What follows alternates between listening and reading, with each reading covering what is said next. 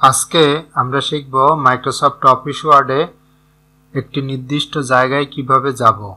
অর্থাৎ go to এর keyboard shortcut শিখব এবং কীভাবে আমরা একটা নির্দিষ্ট স্থানে যেতে পারি তা দেখব। তাহলে চলুন শুরু করা যাক। প্রথমে আমরা মাইক্রোসফট ওয়ার্ড সফটওয়্যারটি ওপেন করলাম। হোম ট্যাবের ভিতরে আমরা এডিটিং গ্রুপের মধ্যে পাবো ফাইন্ডের মধ্যেও গো টু পাবো রিপ্লেসের মধ্যেও গো টু পাবো। এবং কিবোর্ড শর্টকাট যদি ব্যবহার করি, একবারে control plus G button press করলে গো টু ট্যাব ওপেন হবে। পেজ কত নাম্বার পেজে যাব, সেই নাম্বারটা আমি এন্ট্রি করব। করার পরে গো টু ট্যাবে ক্লিক করব। আমি কিছু রেডিমেড টেক্সট নিয়ে আসি। সমান R A N D random first bracket open first bracket close কিবোর্ডে ইন্টার বাটন প্রেস করলাম। তাহলে আমার কিছু টেক্সট চলে আসছে, লক্ষ্য করি। এবার আমরা হোম ট্যাবের মধ্যে এডিটিং গ্রুপের ভিতরে find control F button press করলেও আসবে গো টু আবার কন্ট্রোল এইচ বাটন প্রেস করলেও আসবে রিপ্লেস রিপ্লেসের মধ্যে আমরা গো টু ট্যাব পাবো। পেজ কত নম্বর পেজে যাব? পেজ তৈরি করব কীভাবে? কিবোর্ডে কন্ট্রোল ধরে ইন্টার বাটন প্রেস করলে আমাদের নতুন পেজ ক্রিয়েট হবে।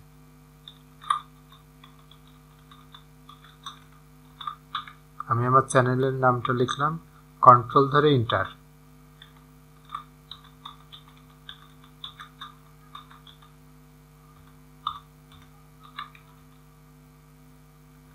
কন্ট্রোল ইন্টার এভাবে আমরা নতুন নতুন পেজ ক্রিয়েট করতে পারব।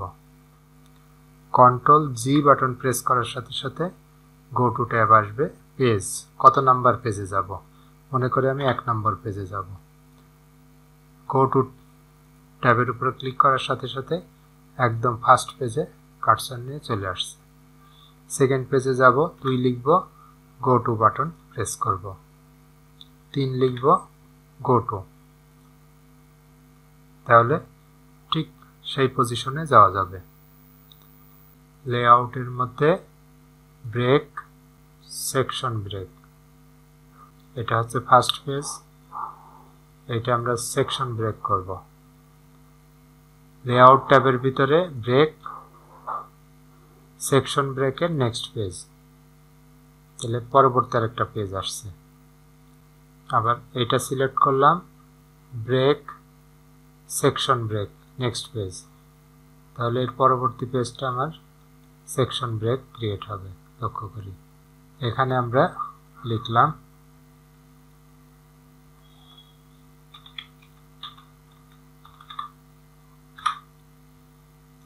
এই টেক্সটের আমরা কালার পরিবর্তন করব নিজেদের বোঝার সুবিধার্থে সাইজ একটু বড় করলাম। এখানে তো আমার আলাদা আলাদা লেখা আছে। এখানে আমি কিছু লিখলাম। এই সেকশনে লেখা আছে, এটা আমাদের কালো রং। আরেকটা কালার। সাইজ একটু বড় করলাম। মোটা করলাম।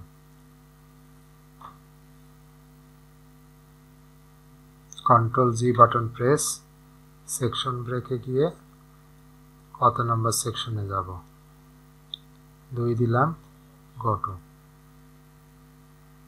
তিন দিলাম গটো এক নাম্বার দিলাম গটো এভাবে এক সেকশন থেকে আরেক সেকশনে যাওয়া যাবে। তাহলে এটা আমার প্রথম সেকশন দুই, গটু। তিন গটু ট্যাব পেজের মতো যাওয়া যাবে। এক লাভ দিয়ে নির্দিষ্ট সেকশনে যেতে পারব। লাইন, কত নম্বর লাইনে যাব? যেমন আমরা কন্ট্রোল দিলে সব সিলেক্ট হবে। লেআউটের ভিতরে লাইন নাম্বার কন্টিনিউস তাহলে আমাদের পেজের ভিতরে সব লাইন নাম্বার বসে গেছে লক্ষ্য করি, যেখানে লিখেছি ইন্টার দিয়েছি, ওখান থেকে লাইন নাম্বার বসে আছে। তাহলে আমি কন্ট্রোল জি বাটন প্রেস করলাম লাইন কত নাম্বার লাইনে যাব? তিরিশ নাম্বার লাইনে যাব। গো টু ক্লিক করার সাথে সাথে আমাদের ও ক্লোজ যদি করি, লক্ষ্য করি তিরিশ নাম্বার লাইনে আমার কার্সার অবস্থান করছে। কন্ট্রোল জি বাটন প্রেস করলাম লাইনে দুই নম্বর লাইনে যাব।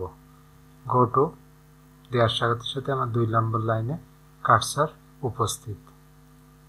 আমি এই জায়গাটাকে একটা বুকমার্ক তৈরি করব। ইনসার্টের ভিতরে বুকমার্ক এইটার কি নাম দেব? আমি বি দিলাম। অ্যাড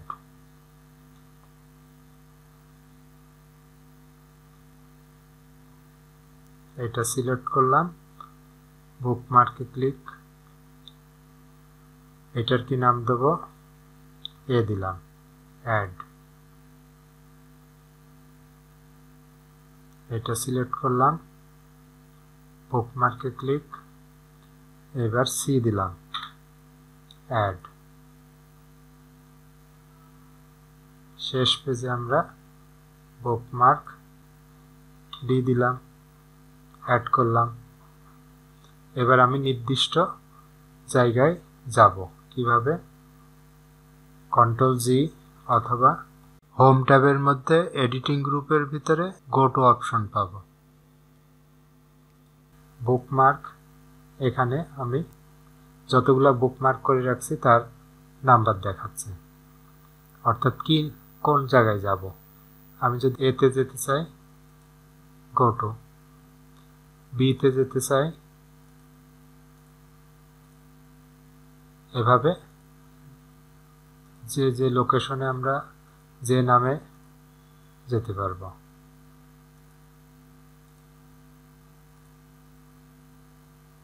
নির্দিষ্ট স্থানে যাওয়া যাবে। আমি যদি কমিটমেন্ট তৈরি করি, তাহলে কমিটমেন্ট হিসাবেও যেতে পারব। সিলেক্ট করলাম কমিটমেন্ট এখানে আমরা লিখতে পারি।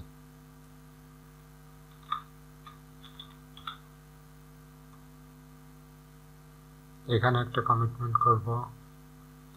তাহলে নিউ কমিটমেন্টে যাব।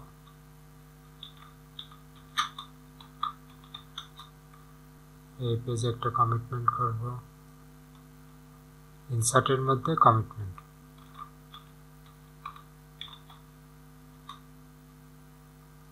এভাবে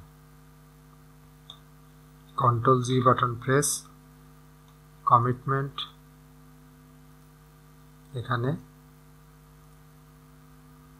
নেক্সট করে লক্ষ্য করে চলে আসছে আবার নেক্সট করব। একটার পর একটা দেখাবে। আমাদের পেজে যদি টেবিল তৈরি করি, এটা এক নম্বর টেবিল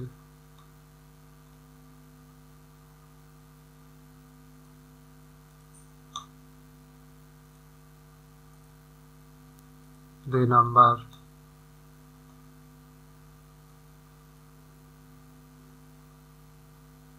আর ফাঁকা পেজে আমরা একটা এখানে আরেকটা টেবিল বানাবো। টেবিল তৈরি করার নিয়ম যদি আপনারা না জানেন, আমার আই বাটনের লিঙ্ক দেওয়া থাকবে, আপনারা ওখান থেকে দেখে নেবেন। বিভিন্ন মডেলে আমরা টেবিল বানাতে পারি। তাহলে আমাদের ফার্স্ট পেজের এটা এক নাম্বার টেবিল। সেকেন্ড দুই নাম্বার। তিন number table. Control G button press table, কত নাম্বারে যাব? এক number. Go to button press করলে আমাদের এক নাম্বার টেবিল উপস্থিত। দুইয়ে যেতে চাই, দুই লিখে গো টু বাটন প্রেস করব, দুই নাম্বারে যাবে। তিন, লিখে গো টু বাটন প্রেস করলে তিন নাম্বারে আসতে পারব। এভাবে আমরা নির্দিষ্ট জায়গাতে খুব সহজে যেতে পারব। ইকুয়েশন সিলেক্ট করলে ইকুয়েশন যাওয়া যাবে। অবজেক্ট হেডিংয়ে এভাবে আমরা নির্দিষ্ট জায়গায় খুব সহজে যেতে পারি। বিশেষ করে আমরা এক পেজ থেকে আরেক পেজে বেশি যাওয়া হয়। অর্থাৎ একটা ডকুমেন্টে একশো পৃষ্ঠা পর্যন্ত লেখা আছে। আমি একবারে নব্বই পেজে যাব। এই ধরনের কাজগুলো বেশি ব্যবহার করব। আমার এই চ্যানেলের ভিডিওটি আপনাদের কেমন লাগছে তা অবশ্যই কমেন্টমেন্টে জানাবেন। ভালো লাগলে লাইক, কমেন্ট এবং শেয়ার করতে ভুলবেন না।